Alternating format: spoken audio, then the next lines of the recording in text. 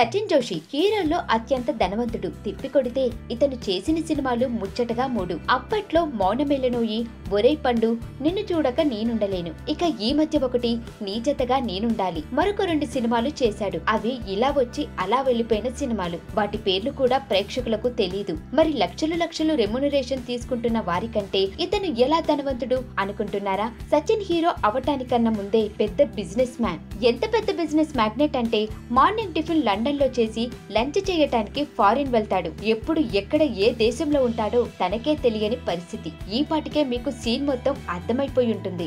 ఈ మధ్య king fissure విల్లాను కొనుక్కున్నది కూడా ఈ సచిన్ జోషినే. ఇంతకు కింగ్ ఫిషర్ విల్లా ఎంత పెట్టి కొనుక్కున్నాడో తెలుసా? అక్షరాల డెబ్బై మూడు కోట్ల రూపాయలకు హాస్పిటాలిటీ నుండి హౌసింగ్ వరకు ఫిట్నెస్ సెంటర్స్ నుండి హెల్త్ స్పాల వరకు సచిన్ జోషి బిజినెస్ విస్తరించి ఉంది. మార్కెట్లోకి వచ్చే ప్రతి కొత్త కారు ఫస్ట్ సచిన్ ఇంట్లో ఉండాల్సిందే. కోట్ల రూపాయలు విలువ చేసే కార్లు భవనాలు టాప్ బిలియనర్ల జాబితాలో ప్రముఖ స్థానంలో ఉన్నాడు సచిన్ జోషి. సినిమాలపై ఉన్న ఫ్యాషన్తో తనకు ఖాళీగా ఉన్న సమయాల్లోనే నటిస్తాడు. ఆ సినిమా హిట్టా ఫట్టా అని తనకి అనవసరం. ఇతని భార్య కూడా నటి నటి మోడల్ ఊర్వశి శర్మ. మనకంటూ పుస్తకాలు చదవటం సినిమాలు చూడటం లాంటి కొన్ని హాబీలుంటాయి చిన్న చిన్నవి. తనకు సినిమాల్లో నటించడం ఒక హాబీ లాంటిదన్నమాట.